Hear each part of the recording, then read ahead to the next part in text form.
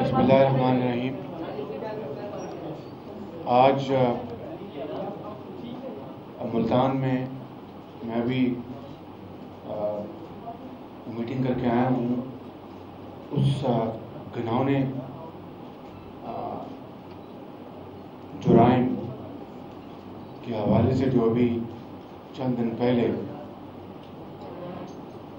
मुल्तान के नवाई इलाके में पेश आया। और ये इंतहाई कभी और घनावना जुर्म, जुल्म और बरबरीत की ये बदतरीन मिसाल है। पहला वाक़ जो एक शरीफ जादी के साथ जुल्म और ज्यादती का हुआ, वो 16 जुलाई को हुआ। और 19 दूसरा वाक्य जो हुआ वो 18 सत्रह और अठारह की रात को दो बजे दूसरा जुल्म और बरबियत का दिलखराश वाक़ हुआ और एक का बदतरीन वाक़ पंचायत की हदायत पर यह जुल्म हुआ ये सतारह और अठारह की रात को हुआ। और मुल्तान में इक्कीस तारीख को हुई। अपना जो दूसरा वाक़ हुआ सतारह और अठारह की रात को जो दिलखराश वाक़ उसकी ये वॉलेंस अगेंस्ट वुमेन सेंटर जो है, मुल्तान में भी जो हमने बनाया है, यहाँ पर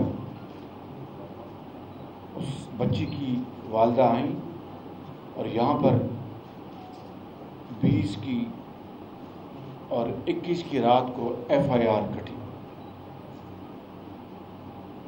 जो पहला जुल्म और बरबियत का वाक़ हुआ 16 जुलाई को। उसकी एफआईआर कटती है 24 जुलाई को, यानी आठ दिन की क्रिमिनल डिले के बाद आठ दिन की। और 24 को ही एक कोशिश हुई कि अब दोनों ख़ानदानों का कॉम्प्रोमाइज़ हो जाए। जो मुझे कॉम्प्रोमाइज़ नहीं हुआ क्योंकि 25 को पुलिस ने तीसरी एफआईआर काटी, जिसमें पुलिस खुद कंप्लेनेंट उसमें बन गई, यानी स्टेट कंप्लेनेंट बन गई। मैं समझता हूँ कि इससे ज़्यादा बदतरीन और संगीन किस्म का अलमनाक वाक़ हर देखती आँख इसके ऊपर अशकबार है। ये मासूम बच्चियाँ जिनको मैं अभी मिल के आया हूँ, जिस जुल्म और बरबरीत का शिकार हुई, और 16 तारीख को पहला वाक़ सतारह और अठारह की रात को दूसरा वाक़ पहली एफआईआर दूसरे वाक्य की कटती है 21 तारीख को। 20 तारीख को। और जो पहला वाक़ है 16 जुलाई को उसकी एफआईआर कटती है 24 तारीख को। और पुलिस ने इसके ऊपर क्या आ, अपना फ़र्ज़ अदा किया क्या कोशिश की ये मैं समझता हूँ कि बदकिस्मती से पुलिस की ज़िम्मेदारी के हवाले से, चाहे वो सिपाही है या वो अफसर है, बदतरीन गफलत का, बदतरीन गफलत का इससे बदतरीन सबूत नहीं हो सकता। चुनाचे, अभी मैंने तीन ऑफिसर्स की कमेटी कॉन्स्टिट्यूट कर दी है, जो आज इन हर सूरत मुल्तान पहुँचेंगे। उसको हेड करेंगे मलिक अबू बकर, वो एक फ़र्शनास पुलिस ऑफिसर हैं। उसके मेंबर होंगे आरपीओ सरगोदा, वो एक बहुत ईमानदार पुलिस ऑफिसर हैं। और तीसरे chairman, CMIT, chief minister inspection team, वो इसके मेंबर होंगे। ये कमेटी इंशाल्लाह आज मुल्तान पहुंचेगी। मैंने बहत्तर घंटे इस कमेटी को दिए हैं कि बहत्तर घंटे में रिपोर्ट बना के सामने लाई जाएगी। और इस दौरान थाने के तमाम, पूरे को पूरे थाने को मैंने मुतली के मैंने अहकाम दिए हैं। डीपीओ को मैंने ओएसडी बनाने के मैंने अहकाम दिए हैं। और इस दरमियान जो मुतल P O sorry thank you C P O Multan और ओ ए एस पी जितने भी उन सबको मैंने सस्पेंड करने के मैंने ऑर्डर्स दिए।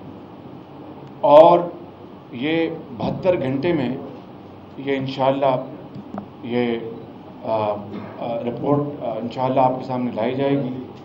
पूरा पाकिस्तान, माएँ, बहनें, बुज़ुर्ग, सब अश्कबार हैं।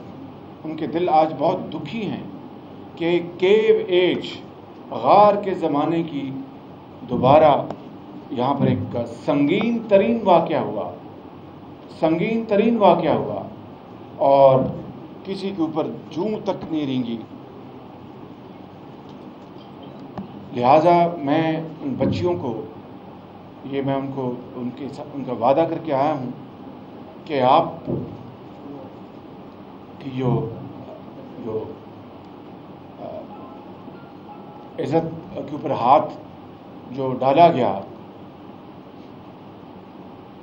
वो एक इंतहाई, एक इंसानी सोच वाक़ है, लेकिन इसके नतीजे में इन इंसाफ का पहिया बड़ी तेज़ी से वो इट इज़ इन सर्कुलेशन और मैंने उनसे वादा किया है कि कानून के मुताबिक